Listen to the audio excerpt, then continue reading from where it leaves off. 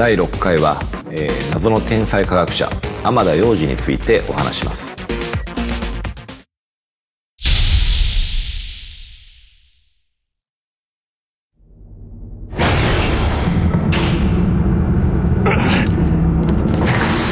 今度は何だ？警察だ。全員動くな。無駄な抵抗はよせ武器を捨てろ男は構わんが、女は殺したくない。おい、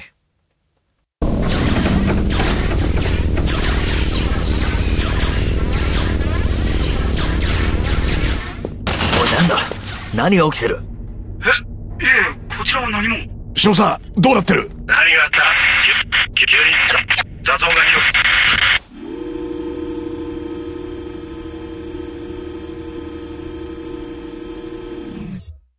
あんたは？まさか。アマだ？俺のロボットに何を？刑事さん、君には撤収命令が出ているはずだ。内務大臣から直々のね。あんたの差し金ってわけか。それは誤解だよ。ニューオーダーズの面々が自発的に気遣ってくれたんだろう。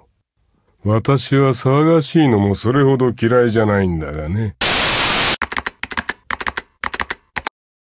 まあ、ラスボスというかですね、まあ、あの、確かにこの物語のキーマンであることは間違いないですし、まあ、その、確かに普通の科学者ってわけではないんですけど、まだちょっとこの段階では決めつけないでもらいたいなと思います。ただ、あの、私としては、アマダという人間をですね、まあ、いわゆるありがちな、単なるマッドサイエンティストみたいな感じにはしたくは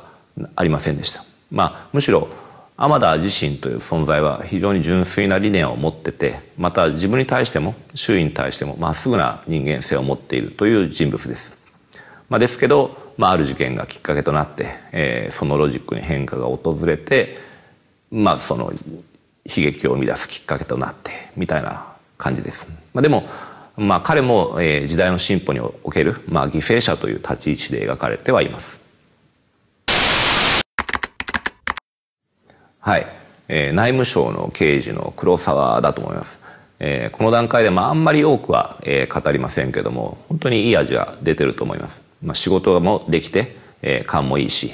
でも意外と抜けてるところもあるという、まあ、本当に人間味のある、えー、人物だと思います。まあ、ダントはまあ、敵対する部分もありますけども、まあ、ずっと物語の流れ上そうでない部分もあるので、えー、本当に独特の面白い役どころだと思います。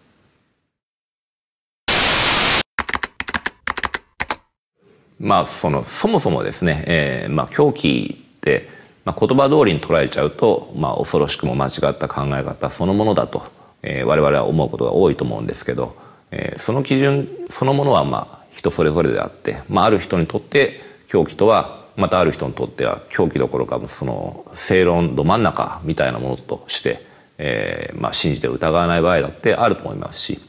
まあ、そして、まあ、人間ある人間はその中で正義と呼ばれある人間はその中で悪と呼ばれたりもするんですけどでも蓋を開けてみるともうその両者には、えー、それぞれ意外な結末が待ってるかもしれないと僕は思ってます。またえー、私としてはですね天田はあくまで現在の我々と似た本当に近い立ち位置の人間として描いてるつもりです。まあ、それぞれのキャラクターに本当に思い入れはありますけども、えー、天田という人物に込めた思いは本当に格別なものが僕にはあります。